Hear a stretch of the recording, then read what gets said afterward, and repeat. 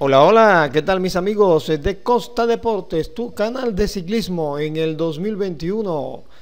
Aquí estamos de nuevo reunidos con ustedes para entregarles el resumen hoy de la tercera etapa del Tour de Ruanda que poco a poco abre camino la semana antes del Giro de Italia con gran representación colombiana y vemos al líder de la competencia, el jovencísimo Santiago Umba, el hombre del Androni Yocatoli que también se muestra en la presentación de equipos con Jonathan El Paco La Restrepo y el antioqueño Daniel Felipe Muñoz.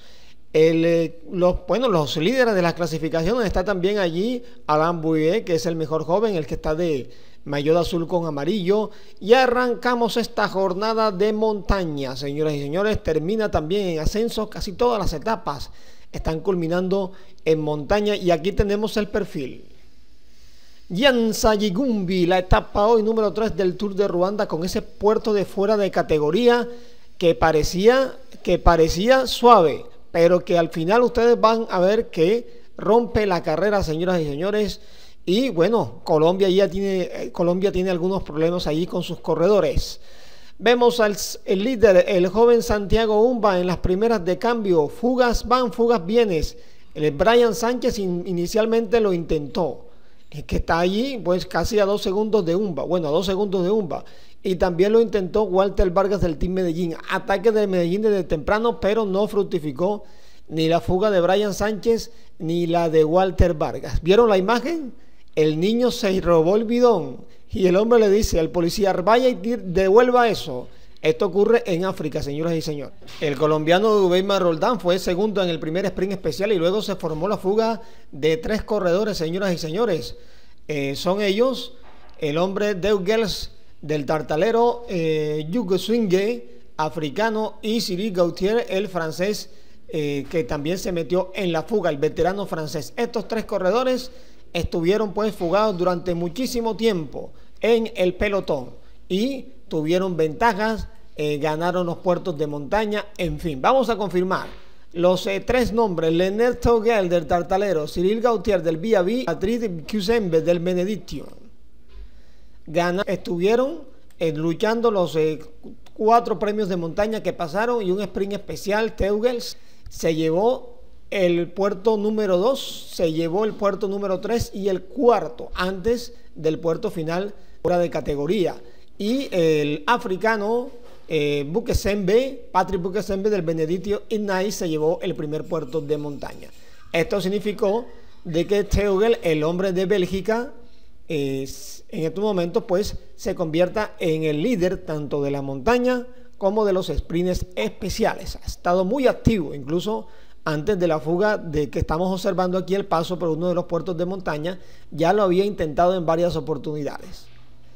Una fuga que mantuvo una diferencia importante de 5 minutos, de 4 minutos y el equipo de Landroni y Yocatoli trabajando mancomunadamente para intentar bajar la fuga, para intentar pues que estos corredores no tuvieran mayor diferencia ya que podrían ser peligrosos en la clasificación general individual, sobre todo por la amplia diferencia, ¿no?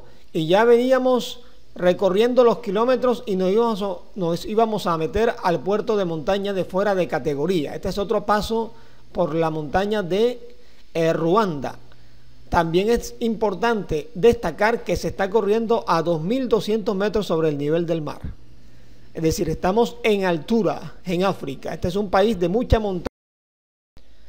En el grupo principal venía el líder Santiago Umba, venía Oscar Sevilla, también venía Carlos Julián Quintero, los colombianos importantes, Brian Sánchez, venía también eh, Bernardo Suaza, otro corredor que ha tenido buena actuación, el corredor del equipo del el Team Medellín, que tuvo liderato en la primera jornada y luego lo perdió en la segunda con el Androni a manos de Santiago Umpa.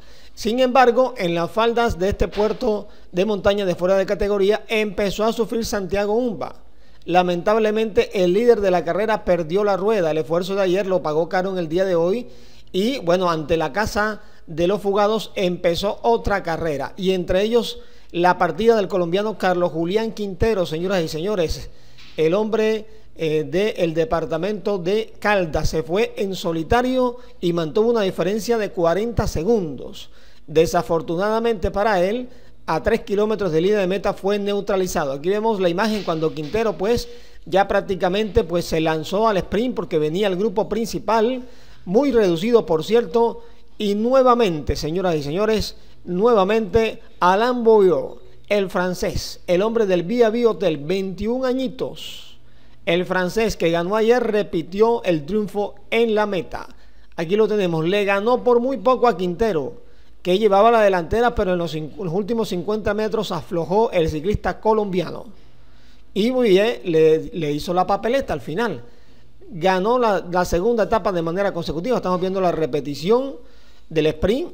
Quintero a los 50 metros estaba, estaba eh, ganando la etapa. Vamos a ver la imagen en mejor estado. En ese grupo también llegó Sevilla llegó el Paco La Restrepo. Aquí está cuando, cuando, Quintero, que es el de negro y blanco, iba de líder, pero detrás venía Bouillet y el francés le ganó la jornada.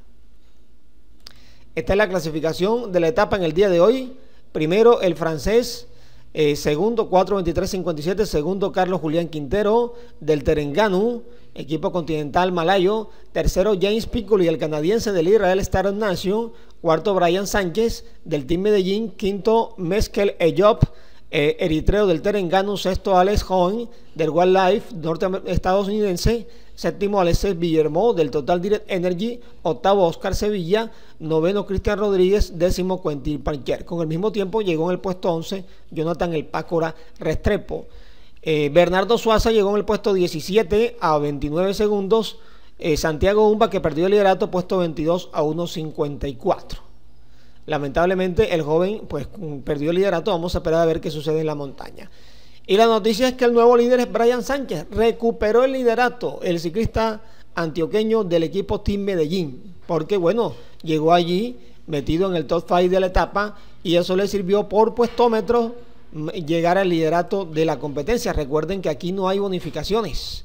Sánchez es líder 10.0502, segundo Alex Hahn del Well Life, tercero Quentin Parcher del Vía cuarto Jonathan Restrepo, quinto James Piccoli, sexto Oscar Sevilla, séptimo Carlos Quintero, octavo Cristian Rodríguez, noveno Michael Job y décimo Nao Serai a seis segundos. Nueve corredores igualados en el mismo tiempo.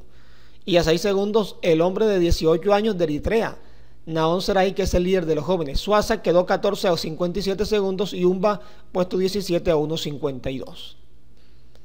Así está la cosa en territorio de Ruanda. Bueno, vale destacar la recuperación hoy de Alexis Villamó, el del Total Direct Energy, que está a 3 minutos 14. Eh, otros corredores, por ejemplo, eh, Walter Vargas puesto 35 a 8.51, Daniel Muñoz puesto 29 a 6.35. La etapa de este día, miércoles, nuevamente montaña, puerto de primera eh, y luego de segunda al final de la etapa. Favoritos, bueno, ojalá pues Colombia hoy o mañana logre otra victoria.